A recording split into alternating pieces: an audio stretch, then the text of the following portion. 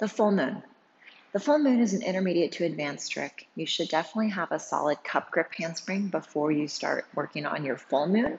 But your half moon, which we're going to go through as we work up to our full moon, you can definitely do regardless of where you are at level wise with handsprings. Okay, so let's break this down. Um, initially, the biggest thing is figuring out where your hips go. Okay, so let's talk about hand position to start. It's going to be a cup grip thumb down, thumb is next to the fingers, up above my head with a slight bend in my elbow. My bottom hand is going to go on the pole, fingers down with the elbows straight but not locked out. Okay. Um, if you have hyperextended elbows, always be very careful that you don't completely lock them out because that can put a lot of wear and tear on the joint.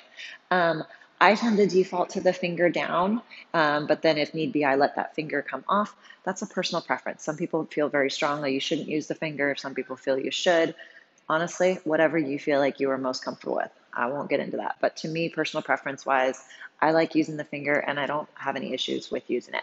Okay, so that's where our arms are going. Here's the next part, just to start. We're gonna start with our half moon and then start working our way up to the handspring, okay? So the half moon is gonna come through here, okay? Um, you can make it a flowy move, you can make it a dancing move. I just went through and went, er, stop, but it's a nice, pretty low flow move that you can do as well to continue through. So the way this one's gonna work, and this is what you're gonna start with, whether your goal is just to stop at half moon or to take it all the way up to a full moon, is we're gonna start with the outside foot away from the pole or in line with the pole, okay? So I wanna stand relatively close. I don't wanna be way out here because the goal is to go up and come down on the other side here. Very similar to a shoulder mount cartwheel if you've worked on those before. Okay, so my outside foot is going to plant roughly even with the pole. Okay, hands, ideally, eventually you're going to be able to just step into it and not place the hands initially. But initially, when we start, we'll start with the hands on the pole. So I'm going to start with my outside foot in line with the pole. My hands are in line in my cup grip. Now, here's the key thing is this inside leg and inside hip what tends to happen with people when they go to do full moon, because it's a little scary in the beginning, is they go here and then they wonder why they can't get their butt up. The problem is, is they're not leading with their hips. Okay, so picture someone grabbed a hold of your inside leg, and as you step through, you lean. Okay, as I'm leaning with my hips, my inside arm is pushing. Okay, so this is why, like I said, you should be for the full moon, definitely be working on handsprings, be solid in your cup grip because you want to be able to have a strong push with that bottom arm. Okay, so that bottom arm as I come through is continuing to push me through. And then if I'm going full moon, I'm going to go up and over. Okay, so initially we're just going to work on that follow through with the hips. Okay, so step one, working on step. Okay, and finishing in this position. Now we're going to talk about where the hips are going and getting the turnaround. Okay, um, it's very similar to, I believe it's called a tour jeté in dance. It's been a long time since my ballet days. Is we're going to step through with this leg, and then we're going to switch and turn to face the pole. Okay. Um, so if it's just the half moon, it'll have just that little flick. If it's the full moon, it'll continue to go all the way up. Okay. So outside foot plants in line with the pole. Inside leg is going to start back. Hands are going to start up in that cup grip. As I come through, my inside leg goes step, turn. Okay, so your goal is to start to feel this push with the bottom arm. And right as you start to feel that weightless moment, that's where you would switch. Okay, if you're only getting here, you don't want to be switching. You're going to run to the pole and then eventually it's never going to go up. So, what I want to feel is that slight, like, think of if you were on a swing whole child swing, um, which I still enjoy as an adult. And when you get to the apex of that swing, and there's that little moment where you're like, "Whoa!" I felt like I almost went over, even though you're nowhere close to going over. Um, that is the spot where you'd want to switch. Okay, so don't rush the switch. Go up, and if you're like, "Oh," that's the spot to switch. Okay, so outside foot plants, inside leg comes through, through, turn to face the pole. Okay, the other thing to think about is where your legs are going as you're doing this. Picture you're in a hallway. Your legs should not be going on this plane. So there shouldn't be a kick, roundhouse kick. It should be a kick, switch. Okay, so really think about flick with your hips. Okay, so this is our half moon coming through. Inside foot plants. Hands are in the cup position. Initially, I start with my shoulder behind as my leg and especially my hip follow through pushing with that bottom arm, switch, turn.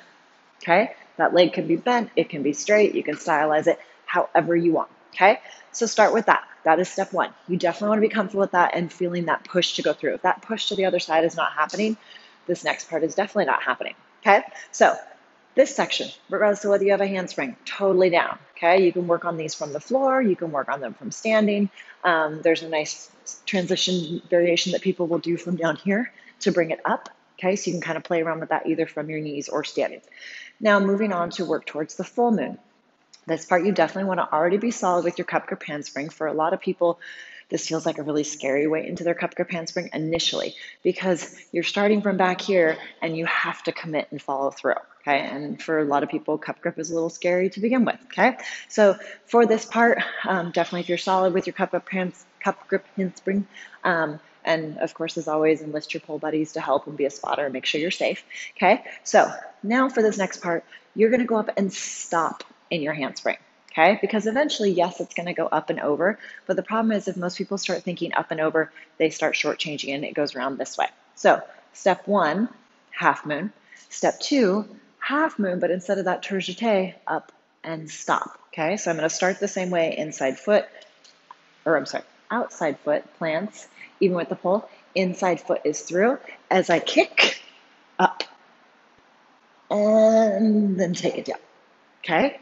So there's a pause up there. Basically, you want to make sure you're hitting that moment at the top. Once you kind of start to feel that up, then we start taking it down the other side. So I don't know if you could see when I came down, although I paused a long time, so lost a lot of momentum. Um, my inside leg continues to go through. Okay, so it'll go up, handspring, and then that inside leg comes through. Think about trying to turn your stomach, your belly button, to the pole as you come through. Okay, so I'll come up this way, I'll stop, and then my stomach will continue to turn towards the pole. Okay, so let's look at that one more time. I'm gonna start outside foot, inside foot steps through, up, my inside leg trails through, and down to bring it through. Okay, so if that part feels comfortable and you're able to kind of hit that handspring there and it's feeling pretty solid, then we start to put it all together and take it to all the way over. Okay, so then now taking it to the full moon all the way over. We're going to start with the half moon to the handspring all the way over. By the time you're taking it to all the way over, you should be totally comfortable with all of that. Half moon, cup grip handspring, and then starting to add in that second part all the way over. Okay, so as you're comfortable, eventually you'll start with your hands completely off the pole and then step into it. Initially, you can start with your hands on the pole, off the pole, whatever feels most comfortable or whatever your goals are with this. Okay. So if I start back behind me, inside foot is placed forward because then I'm going to step with my outside. Like I said, that's personal preference where you want to start. Okay, so through, down, add whatever flowy stuff you want to do um, to take it all the way over. Okay, as you get comfortable with this, you can start to stylize what you do with your legs. You can make it, you know, more of a flashy split, more of a pop, more of a switch kick, whatever you want to do. But start with that basic part. Really focus on that bottom arm. Same concepts as you would do in a regular handspring. Um, if handspring is new to you or you are not quite there with your cup grip handspring, definitely go check out my website, elizabethbfit.com, and I have a full online tutorial on how to train your handspring from ground zero up. Okay? Okay, there's your full moon. Try it out. Let me know how it goes.